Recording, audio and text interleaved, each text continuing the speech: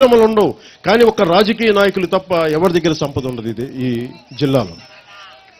దీన్ని మార్చాలి అంటే ముఖ్యంగా ఆడపడుచులు మీరు దీవెనలు ఇచ్చి మీరు నడుము బిగించి మీ చీరకి ఉన్న కట్టు గట్టిగా బిగించి యువతకు మీరు ధైర్యం ఇస్తే మీరు ముందుండి నడిపిస్తే ప్రకాశం జిల్లాలో ఎందుకు మార్పు రావో మేము చూపిస్తున్నాం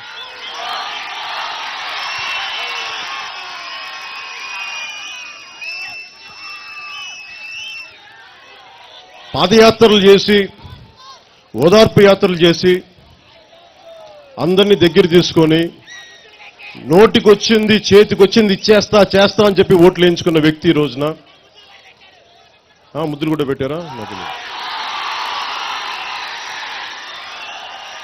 ఒక ముద్దు రెండు ముద్దులు అయితే ఫాలో అవుతాం. అన్ని ముద్దులు అయితే మనం ఎక్కడ ఫాలో అవుతాం? చాలా బాధపడతారు అబ్బాయి అని ఆయన ఏదంటే వాళ్ళ మా మీద ఏమైనా చేసేయచ్చు? ఏమైనా మాట్లాడేయచ్చు? నేను ఆయన ఒక మాట అన్నా. మీరు దత్తపుత్రుడు అనేటప్పుడు మేమంతా మిమ్మల్ని సిబిఐకి దత్తత తీసుకుందాం. మాట మాట వల్ల ప్రయోజనం ఏంటి? ఆయన నేను ఎవరికో దత్తపుత్రుడు అంటే ఏంటి? నేను నాకేమన్నా ఒళ్ళు చిల్లుబడిపోతాయండి నేను చూస్తూ ఉంటా. నేను రెండు వేల మూడులో మా నాన్న చెప్పా. నన్ను ప్రజలకి దత్తతకు పంపించాను నేను ఇంట్లో మీకు మీకు కూడా బిడ్డను కాదా?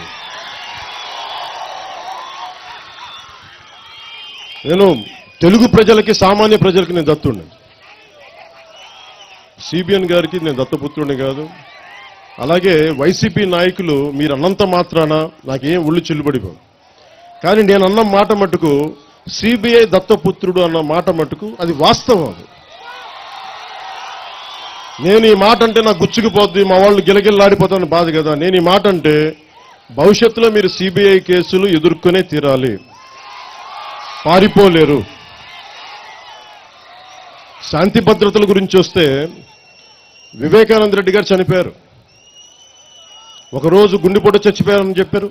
మూడు నాలుగు గంటలు. సాయంత్రానికి లేదు ఎవరు దాడి చేశారన్నారు. ఈ రోజుకి తేడా దానికి దాని మీ గురించి ఎవరు మాట్లాడరు. మీరు చెప్పండి ఇంతమంది యువతున్నారు లేదు లేదా ఇంతమంది ఆడపడుచులు ఉన్నారు అమ్మ మీకు ఉద్యోగాలు కావాలంటే మీ మీద క్రిమినల్ సర్టిఫికేట్ ఉందా? పోలీస్ కేసులు ఉన్నాయి? ఒక పాస్పోర్ట్ కావాలంటేనే మీకు పోలీస్ కేసు సర్టిఫికేట్స్ ఉన్నాయని అడుగుతారు. మేము మీ పాస్పోర్ట్ రాదు మీకు. ఉద్యోగాలకి అని కేసులు ఉంటే ఉద్యోగాలు రావు. మిలిటరీకి వెళ్దామంటే క్రిమినల్ కేసులు కానీ ఏమైనా కేసులు ఉంటే ఉద్యోగాలు రావు. మరి ఎమ్మెల్యేలకి ముఖ్యమంత్రులకి ఉద్యోగాలు వాళ్ళకి ఎలా వస్తాయి నాకు అర్థం కాదు. వాళ్ళకో న్యాయం మనకో న్యాయమా? ఓకే తప్పు తప్పుగా కేసులు పెట్టించవచ్చు అది అది మేము అర్థం చేసుకుంటాం. అంటే నాకున్నది ఏంటంటే మీలాగే ప్రజాప్రతినిధులకు ఒక రూలు వాళ్ళు రూల్స్ పాటించారు ప్రజాప్రతినిధులు. వాళ్ళు రూల్స్ పాటించరు. మనమే రూల్స్ పాటి